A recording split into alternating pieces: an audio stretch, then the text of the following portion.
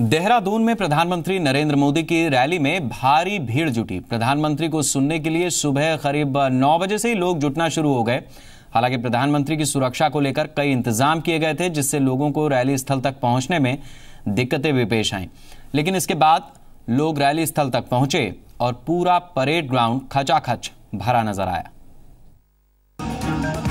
देहरादून के parade ground में भारी भीड़ नज़र आई तो प्रधानमंत्री नरेंद्र मोदी भी खासे उत्साहित नज़र आए। उन्होंने रैली को संबोधित करते हुए कहा कि जब वो 2014 में देहरादून आए थे तो परेड ग्राउंड आधा खाली था। इसके बाद भी जनता ने विरोधियों को घर बैठा दिया।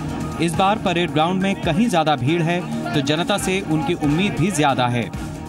अच्छा उस समय आधा मैदान भरा था, फिर भी आपने अच्छे अच्छे लोगों को धूल चटा दी, घर भेज दिया। सबके सबको जिता दिया।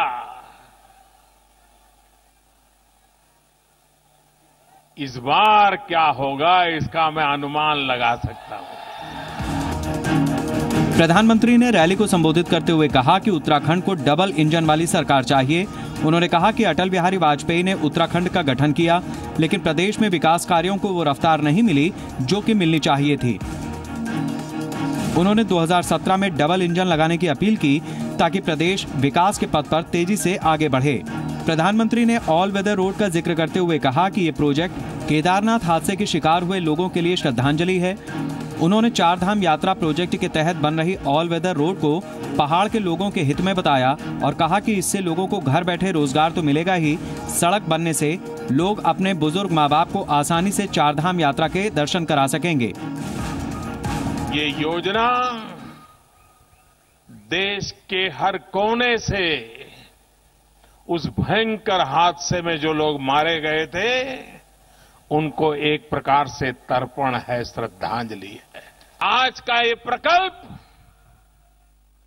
उन वृद्ध माँ बाप जो आने वाले दिनों में जब यात्रा के लिए आएँगे और सड़क बिना अवरोध ले जाती होगी कितने आशीर्वाद हिंदुस्तान भर से मिलने वाले हैं इसका आप अंदाज लगा सकते हो।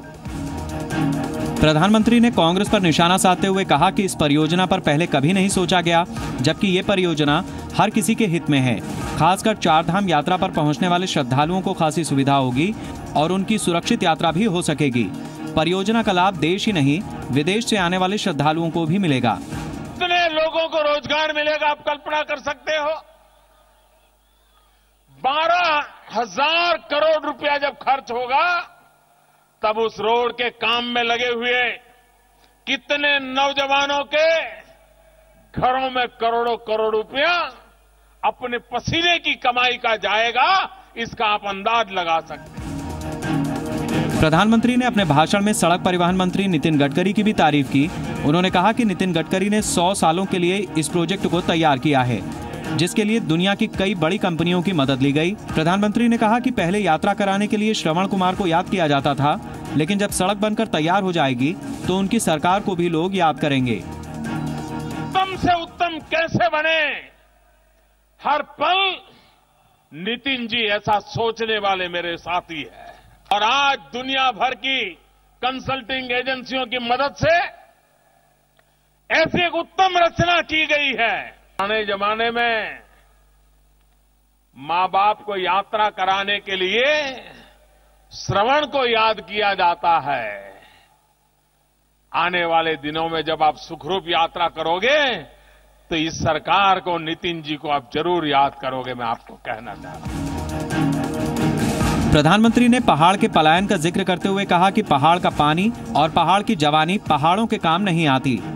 प्रधानमंत्री ने कहा कि उन्होंने इस कहावत को बदलने का निर्णय किया है। प्रधानमंत्री के मुताबिक वो ऐसा उत्तराखंड बनाना चाहते हैं, जहाँ से लोग घरों को छोड़कर शहरों का रुख ना करें, बल्कि घर गाँव में ही उन्हें रोज़गार मिले। पहाड़ का पानी भी पहाड़ को काम आएगा, ये पहाड़ की जवानी भी पहाड़ को काम आएगी। ऐसा उत्तराखंड बनाएँगे, ऐसा उत्तराखंड बनाएँगे कि यहाँ के जवानों को ये हिमालय छोड़ करके शहरों की गंदी गालियों में ज़िंदगी गुजारने के लिए मजबूर न होना पड़े, ऐसा उत्तराखंड बनाने का सपना लेकर के चल रहे प्रधानमंत्री की रैली में जो जनसैलाब उमड़ा, उसने पहाड़ के ठंडे मौसम के बावजूद गर्माहट ला दी। हालाँकि जो भीड़ नज़र आई, वो आने वाले चुनाव में वोटों में तब्दील होगी या नहीं, ये चुनाव के बाद ही मालूम हो सकेगा, लेकिन इससे बीजेपी कार्यकर्ताओं का उत्साह तो कई गुना बढ़ गया है। देहरादून से सोनू सिंह के साथ bureau report India twenty four seven.